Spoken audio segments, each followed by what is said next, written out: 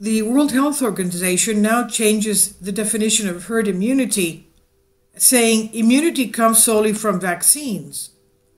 World Health Organization WHO changed the definition herd immunity, eradicating the pre COVID consensus that it could be achieved by allowing the virus to spread through a population and declaring that herd immunity solely comes from vaccines. This is very strange. The change happened on the WHO's website in a section entitled Coronavirus Disease COVID 19 Serology, Antibodies, and Immunity. The original WHO definition, archived, says that herd immunity, quote, happens when a population is immune either through vaccination or immunity developed through previous infection this means that even people who have not been infected or in whom an infection has not triggered an immune response, they are protected because people around them who are immune can act as buffers between them and an infected person. Kindly support my Patreon account because YouTube has again demonetized my YouTube channel.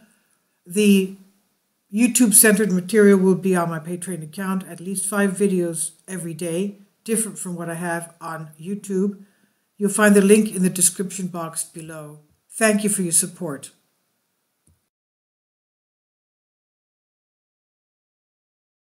Summit News reports the original definition fails to identify the pre COVID consensus on what is meant by herd immunity, which is when the population becomes protected against a virus because enough people have been infected with it to create community immunity.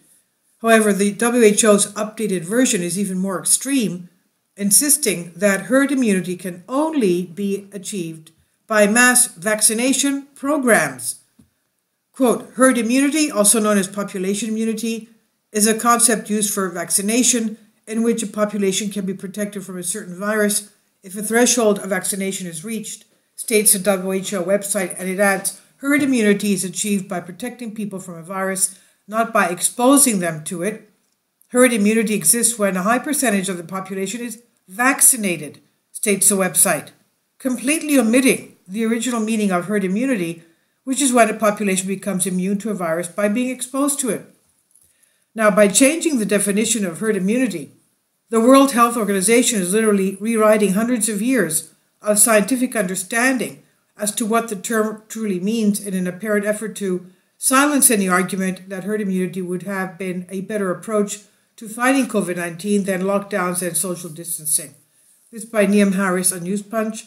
Please leave your comments and thank you for your support.